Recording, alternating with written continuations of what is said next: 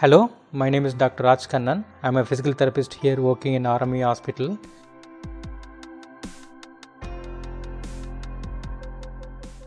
Torticollis is otherwise called as wry neck.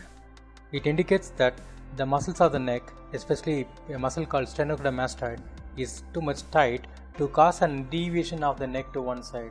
So, ideally, if there is a right side tightness, the patient will tilt to the left side this way. Now, this condition can occur at any point uh, of time. There are three stages where this condition predominantly affects. One, when for the newborn, other for the children, and the third type it occurs for the adults. Let's talk about the causes of torticollis for the newborn. Uh, these newborn are born with, with the neck tilted to one side.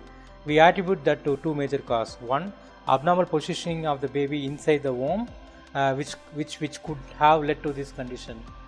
There are other theories saying that when the child is uh, born, too much forces uh, acting upon this muscle could block the circulation, thereby the muscles would have gone for tightness.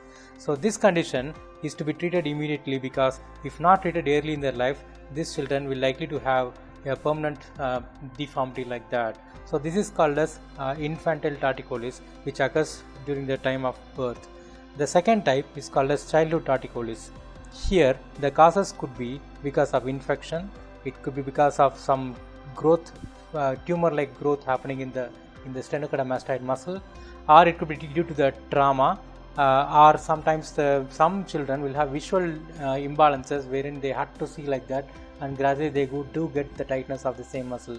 And this childhood torticollis can be very well treated provided if the cause is identified very early, and if the cause is treated, this condition automatically tend to get subsided. Still, some of these children uh, would require physical therapy program in order to regularly stress this muscle.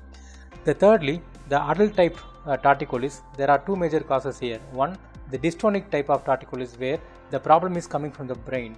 Due to abnormal firing frequencies happening in the brain, the muscles which are uh, uh, which are controlled by certain regions in the brain will give tonic information to the to this muscle.